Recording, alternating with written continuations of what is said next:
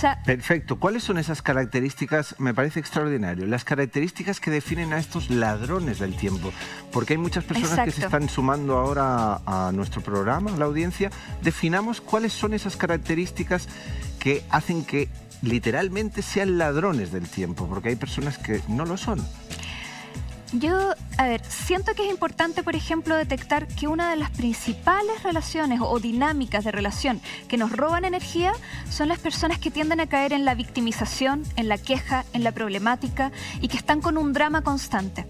Si yo constantemente tengo una amiga, pareja o quien sea que está todo el tiempo quejándose, lo, lo espontáneo, lo natural que me surge quizás es apoyarlo, aconsejarlo, tratar Totalmente, de ayudarlo, puede sí. ser un hijo, cualquier persona. Pero si, esa sol- si ese tema no se resuelve y la persona todos los días está, ya sea con una indecisión que no sabe qué tomar o está atrapada en su problemática y todos los días está quejándose frente a mí, finalmente eso me va embargando, Es un me va lastre, es una angustiando. carga. Claro, está cargándome.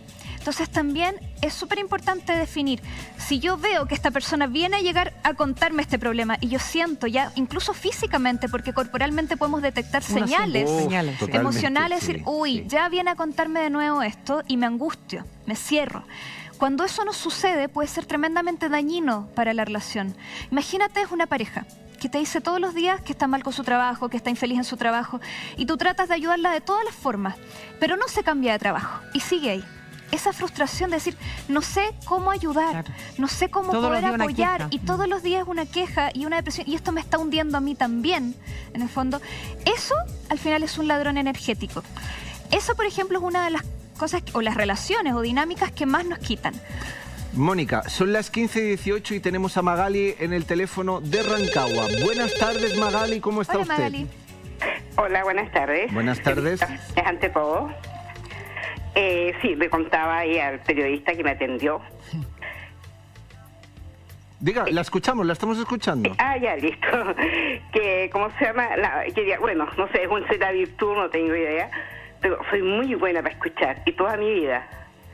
Desde que estaba en el colegio y qué sé yo, siempre, siempre, siempre soy muy buena para escuchar. Y yo uso mucho el teléfono de casa. O sea, lo que, lo- perdón, lo que entiendo es que a usted le explican mucho los problemas. Claro, me, eh, me llaman mis conocidas y qué sé yo, y me empiezan a contar sus problemas.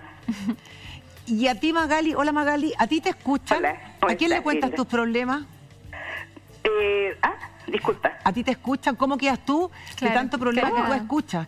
Claro, que diga, me cuenta sus problemas, oye, y tengo súper facilidad para, para resolverle los problemas. Sí, pero tú, Generoso. eh, ¿cómo, ¿cómo te sientes tú No, después yo de tanto escuchar ya, problemas? la primera vez conforme, pero cuando siguen Ya, ya. y Claro, siguen después- y siguen, oye, me agotan. ¿Y qué haces tú para poner un límite ahí? Bueno, yo les digo, oye, si tú no me vas a tomar en cuenta, si tú me llamaste para que yo te vea y qué sé yo, y no me vas a tomar en cuenta lo que te estoy diciendo, Claro. no sé, pues linda, le digo yo, eh, eh, eh, no sé, porque diga, a ver, por ejemplo, las personas que no quieren ir al médico, Ujú. están con que, uy, que me duele esto, uy, que me duele esto, uy, que aquí, uy, que allá. Pero no hacen nada al respecto. Claro, o por ejemplo, fuman. Fuman. Entonces digo yo, pero es que no tienes que fumar. Porque el cigarro, ta, ta, ta, ta, hace esto y esto y esto, esto, otro. Bueno, y siguen fumando. Entonces me agotan, te lo juro que me agotan. Magali, Magali, nos Dígame. queda claro que a usted le agotan las personas que la llaman, la llaman para explicarle sus problemas. Quédese en pantalla que Mónica le va a dar un súper buen consejo. Muchas gracias por su llamado y ya sabe que esta es su casa. Por favor. Súper generosa Magali también al tener ese talento de Sí, o escuchar, sea, porque no todos hoy en día tenemos la habilidad de poder escuchar al otro realmente con lo que La le pasa, empatía la también. empatía. Pero justamente cuando uno tiene un exceso de empatía y recibe y recibe, se desgasta y se agota, como nos contaba.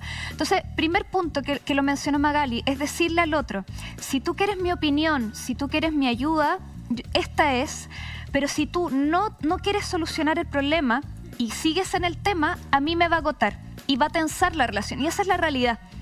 Entonces hay muchas veces hay amistades o relaciones que se distancian y no sabemos por qué. Simplemente se alejan o se cortan y nos vamos quedando solos.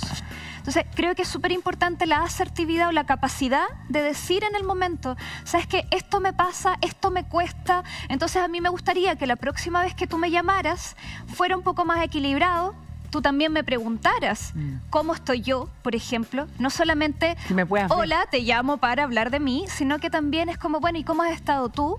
Y que ese tiempo también sea recíproco, que tú también me puedas escuchar, que tú también me puedas aconsejar. Y algo muy importante es, ojalá que no todas las eh, conversaciones terminen en lo mismo. Ojalá que las conversaciones, cualquier relación saludable se caracteriza porque te ayuda a crecer. Y para que te pueda ayudar a crecer, uno también puede tocar distintos temas. Temas, sí. Un día es el trabajo, un día es la alimentación, otro día es algo que vi en la tele y me Un entretuvo, libro, un libro.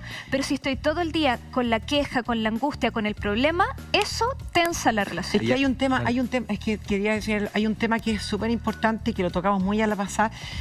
Generalmente las personas que escuchan son personas que tienen carencias afectivas, son personas que tienen baja autoestima, son personas que se apegan a un otro, que tienen necesidad de un otro y por lo tanto, y no saben ser asertivas cuando damos asertividad, es que no saben decir no y dicen sí queriendo decir no. Entonces, por miedo a la pérdida. Por lo tanto, yo creo que es súper importante que las personas que están escuchando es tomar conciencia ¿Por qué no puedo colocar límites? ¿Por qué no puedo decir no? Es, es tremendamente import- importante.